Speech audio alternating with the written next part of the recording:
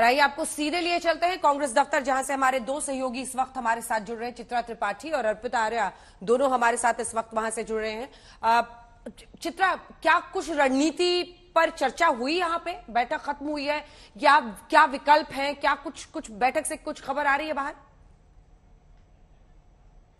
देखिए अभी तक जो जानकारी हमको मिली है आ, उसमें यही तय किया गया है कि किस तरह से अब ऊपरी अदालत से राहुल गांधी को तुरंत राहत दिलाई जाए और यहाँ पर जो कांग्रेस पार्टी के कार्यकर्ता है लगातार उनके पक्ष में नारेबाजी करते हुए जिंदाबाद के नारे लगाते हुए नज़र आ रहे हैं। लेकिन इन सब के बीच कुछ ही देर में कांग्रेस पार्टी की एक बड़ी प्रेस कॉन्फ्रेंस भी होनी है और उस प्रेस कॉन्फ्रेंस के ज़रिए मोदी सरकार पर कैसे और हमला किया जाए क्योंकि ये जो दंगल अभी शुरू हुआ है वो इतनी जल्दी खत्म होने का नाम नहीं लेगा। राहुल गांधी के लिए सबसे ज़्यादा ज़रूरी यही है कि ऊपरी अदालत से राहुल को राहत मिले और इसी को लेकर यह माथापच्ची चल रही थी प्रेस कॉन्फ्रेंस में। मुझे लगता है कि डिटेल में बकायदा अंजना इसके बारे में जानकारी दी जाएगी। राहुल गांधी की यहाँ पर मौजूदगी नहीं थी। राहुल गांधी अपने घर पर भी नहीं थे, अकेले ड्राइव करके वो कहीं बाहर निकले हैं। यकीनन कांग्रेस पार्टी के लिए पसुपेश की स्थिति है। उनके पास पूरा वक्त था। दिन में अगर वो ऊपरी अदालत का दरवाज़ा खटखटा लेते तो शायद ये स्थिति नहीं पैदा होती जैसा कि एक्सपर्ट मान रहे हैं। लेकिन अब राहुल गांधी की सदस्यता खतरे में सदस्यता चली गई है। उसको कैसे बचाया जाए, वापस लेकर आया जाए ऊपरी अदालत से? स्टे ऑर्डर लगाया जाए, क्योंकि अगर यही स्थिति बरकरार रहती है।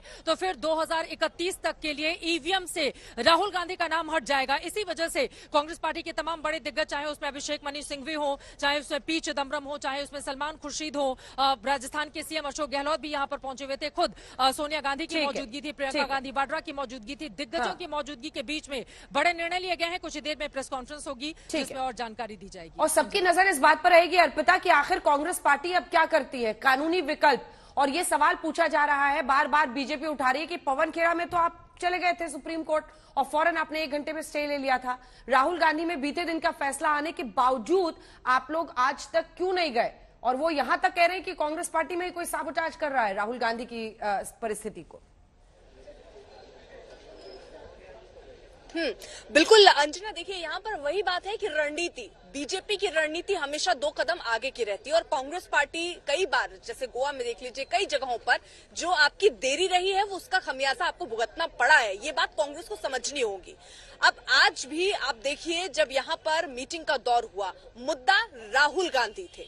मुद्दा राहुल का लंदन वाले बयान से लगाकर मानहानि के बाद सदस्यता जाना, राहुल लगातार चर्चा में बने हुए हैं। भारत जोड़ो, एक तरफ़ आप करते हैं, दूसरी तरफ़ आप यहीं पर। आज मीटिंग में नहीं थे, जो सुबह मार्च है, आप मार्च में नहीं थे। उसके बाद आप गाड़ी लेकर कहीं घर से निकल जाते हैं। कहाँ गए राहुल गांधी? किसी को पता नहीं है। तो राहुल गांधी जिनको लेकर कांग्रेस पार्टी मंथन और चिंतन कर रही है, उनको फ्रंट पर आकर इस वक्त होना चाहिए। वही राहुल गांधी अभी पीछे सीट में बैठे हुए इंतज़ार कर रहे हैं। अब राहुल अगर पीछे हैं तो आगे सीट कौन चलाएगा? कांग्रेस पार्टी का वो चेहरा कौन होगा? बड़ा सवाल बन रहा था। अभी तक हम पूछते थे कि विपक्ष क्या राहुल को स्वीकार करेगा बड़े चेहरे के तौर पर? लेकिन अब दिक्कत तो ये है कि अगर राहुल ही चेहरा नहीं हुई तो विपक्ष का चेहरा कौन होगा? पी चिदम्बरम भी हमारे साथ यहाँ, देखिए आप लगातार ये नेता जो है, वो निकल रहे हैं। मीटिंग जो है, वो खत्म हुई है। आपसे थोड़ी देर पहले सोनिया गांधी जो है वो खत्म हुई थी राहुल जी ही चेहरा रहेंगे विपक्ष का। ऐसे सदस्यता तो चली गई। देखो ऐसा है सदस्यता कुछ टाइम के लिए भंग की।